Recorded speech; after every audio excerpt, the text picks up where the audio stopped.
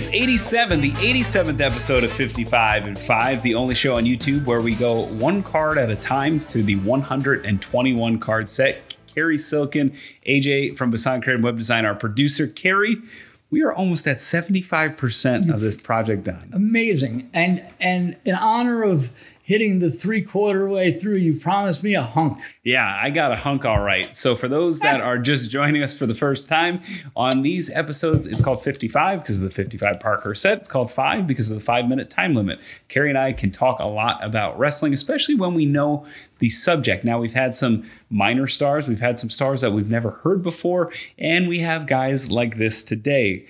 Cary, as we're getting through the end of the set, it's getting harder and harder to pull Hall of Famers out of the luck of the draw. But we have one here today, a bona fide Hall of Famer by any measure, and a real matinee idol. I believe he stood at six feet, geez, six feet five inches tall, according to the back of the card. Wow, handsome man. I'm looking. Yeah. Oh. I saw Don Leo Jonathan live. Really? Yes, at Madison Square Garden. Oh, yeah. Late in his now this is 1955. Mm-hmm. He came in to the old WWWF in 72 or 3. Yep. 73. And 73. he wrestled. I saw him at the Garden against Pedro Morales, Ah, I have that on the safety net and here. he Yeah. Mm-hmm. was a legend. Uh, this is a true legend. One of Canada's greatest athletes. Right, and it's funny because he's he's the Mormon giant. He's from Utah, but Right, yeah. he lived in British Columbia and really really became a true Canadian. Yes. Yeah, he so so this card, the picture is basically 20 years before I saw him. Mm-hmm. And you know, he he matured, but he was still a good-looking guy. He was really tall, Mm-hmm. towering over Pedro Morales. Uh, I think the Grand Wizard managed him. Oh wow. Let's hear about it. Yeah. Uh, so we had talked about the uh, the great Canadian athlete, Mr. Canada, that we had come up before as the only living wrestler in the set. Don Leo Jonathan, we narrowly missed that. He just passed away recently, 2018. Uh, lived from 31 to 2018, so a hell of a life. Um, he served in the U.S. Navy. He's known as he's legitimately known as one of the great Canadian athletes. A great, but he's from Utah. He's known as the Mormon Giant. Uh, served in the U.S. Navy though, uh, right after World War II, which is an interesting fact. And he's actually a second generation wrestler. Really? His father was Brother Jonathan, and he wrestled on, on the West Coast, uh, Utah, California. He was a champion everywhere he went. I mean, he was he, you name it. I mean, he's named he held held championships on five continents. Uh, he, he won the WCW tag titles in Australia, 18 time Vancouver tag team champion, Maple Leaf tag titles with Whipper Billy Watson, former Texas champion. Uh, really matinee movie Worked star. the South also, I believe. Yeah, Everywhere. He worked everywhere, and everywhere he went, he was a star. He was a main event guy. Um, he started in San Francisco, but he got his first big break in Canada, in Montreal for Eddie Quinn, and he actually won the Montreal title in Boston. Okay, he defeated Killer Kowalski for the Montreal belt in uh, '53, and uh, he his one of his biggest breaks came on a rare nationally televised live wrestling card from St. Louis.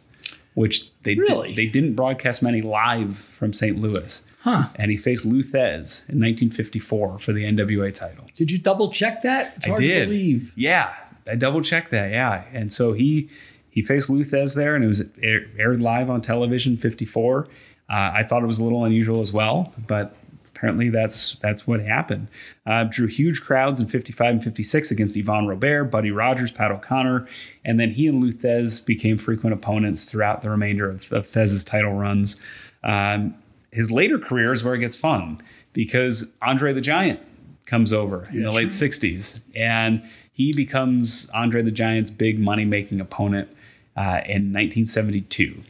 And If I would have known he was coming, I would have checked with with uh, Bushwhacker Luke right. because they probably crossed paths in uh, Montreal. Well, and they crossed paths on his second to last match ever. Really? By the way. Yes. So in 73, he comes and challenges. Pa- 72, he faces Andre. They call it the match of the century, draws a monster gate.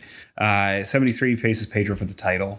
And then uh, from there, he is in a red hot Portland territory, and he's actually teaming with Andre the Giant.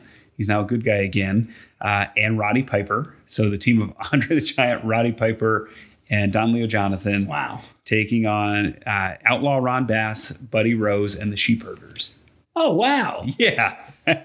that's cool. So Yeah. that had to be like 79, 80. That was 80. And then his very final match was about two weeks later against Otto Wanz in Austria. This guy made, you know, what a life he had. Yeah. He's five continents he wrestled on, uh, only missing Antarctica. And as far as I can tell, And where else? uh, He probably was in Africa. yeah, he might have had six. I'll double check that. He might have, I know he held titles in five. So he might have wrestled in six out of the seven. Well, he made good money. Yeah. A good long life. yeah. Toured the world. Saw it all, did it, wrestled What them more, all. what more can you ask for? incredible. And uh, geez, he looks. I mean, if you want to picture, per, he looks like a movie star. Yeah, a handsome man. Don Leo Jonathan. Yeah, one of the all-time greats uh, in the Wrestling Observer Hall of Fame. I believe he was one of the, the posthumous inductees recently in the WWE Hall of Fame as well. Well, So- he deserves it, that's for sure. Absolutely, and uh, this one's this one was fun because this is a name that I'd heard for years and years, and it's one of those names you hear but you don't know how to place it. And to know he was a big star in Montreal and then wrestling with Thesz. Well, boys and girls, it's good to learn these things. If you're a fan or you know these young wrestlers, uh, is it important that they know this? I don't know. I think it is. Yeah, and and he's we talked yesterday about Matt Murphy having footage, a lot of video on Don Leo Jonathan, so it's pretty cool to be able to go back and watch that. Excellent. Yeah, so we thank you for joining us on episode 87 on 55 and 5. Tomorrow's 88, and tomorrow we have a uh, a wrestler that only had a three year career, and it didn't even encompass the year these cards came out.